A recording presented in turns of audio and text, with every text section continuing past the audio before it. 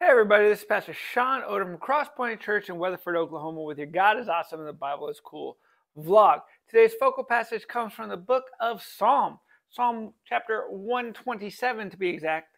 So, I'd like to go ahead and read that for us this morning.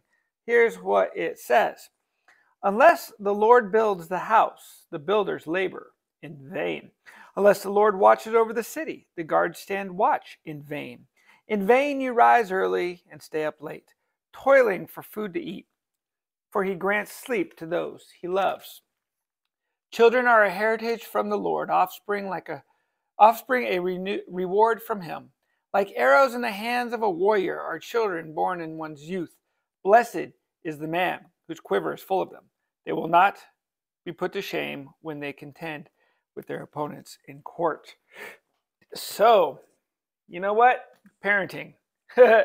Parenting can be tough, to be sure. I am a parent and I understand this. It's hard work.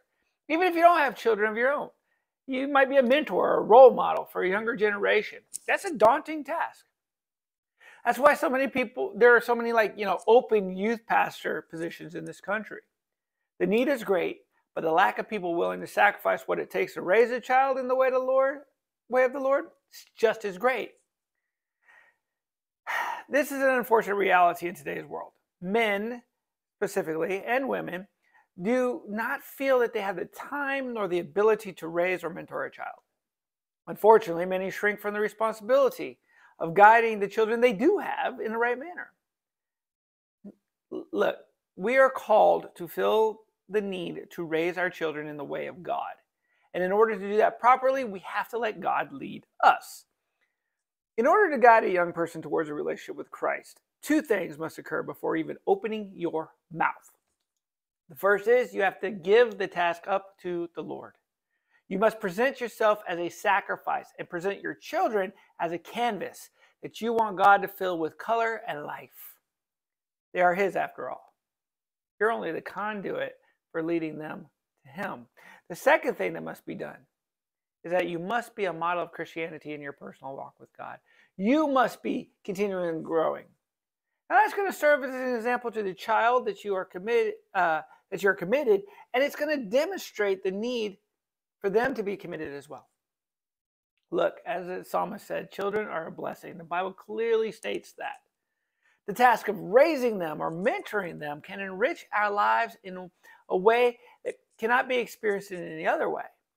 Even though they drive us up the wall, we butt heads sometimes.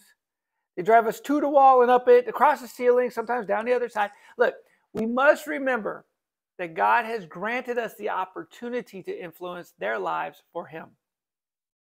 When we view our charges as such, we will be a, better able to guide them towards Christ. That's my prayer for us this morning. Those of us who are parents, be a parent. You don't have to be their friend, you know, buddy, buddy, whatever. Be their parent and raise them in the fear and admonition of the Lord. And if you have any influence in any child's life, be the same and do that in Jesus' name. God bless, guys. See you Sunday.